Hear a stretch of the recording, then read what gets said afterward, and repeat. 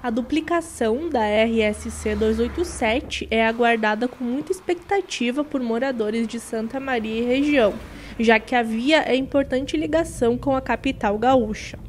Depois do leilão para definição do preço do pedágio, que será de R$ 3,36, a assinatura do contrato com a empresa vencedora, a Via Central, deve acontecer em março e as primeiras obras de restauração estão previstas para iniciar logo depois. Vai vir a obra então de duplicação, de duplicação da rodovia, de melhora do pavimento, de melhora na sinalização e, consequentemente, para o nosso condutor, para o nosso profissional do volante, muito mais segurança, muito menos acidentes, né? mais qualidade para a gente trafegar com segurança, né? ligando os municípios da quarta colônia com Santa Maria. A duplicação da 287 vai acontecer de Tabaí até um trecho próximo da Ala 4, em Santa Maria.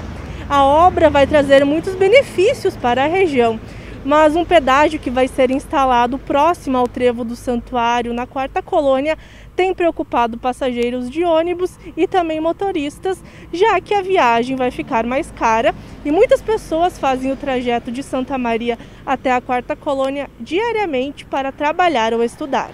A gente sabe que com essa despesa vai acabar acarretando o aumento de tarifa. Não sei precisar aqui, no momento, por falta de conhecimento né, de, de como se calcula eh, essa, essas taxas, essa, essa tarifa, esse coeficiente tarifário, mas a gente sabe que ele vai estar embutido no valor da tarifa e essa é a nossa preocupação, aonde a nossa tarifa seja mais cara e ocorra cada vez mais a evasão de passageiros. Né? Diogo é um dos motoristas que passa pelo local todos os dias.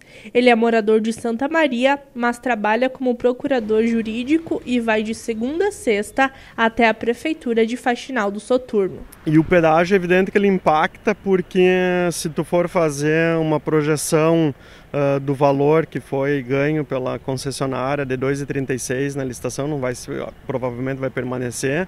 Ele causa numa viagem de ida e volta uh, todos os dias no mês um, um, impacto no orçamento de 150 a 200 reais que é razoável, né? O motorista critica o local escolhido para a instalação da praça de pedágio e espera que isso ainda possa ser revisto. Eu acho que tem que ser após o trevo do santuário, porque para a concessionária é evidente que eles vão ter os argumentos de dizer que hum, Uh, estudos técnicos entendem que a melhor localização é onde vai ser colocado, mas os municípios não podem uh, fazer com que a população sofra esse impacto financeiro, que é muita gente envolvida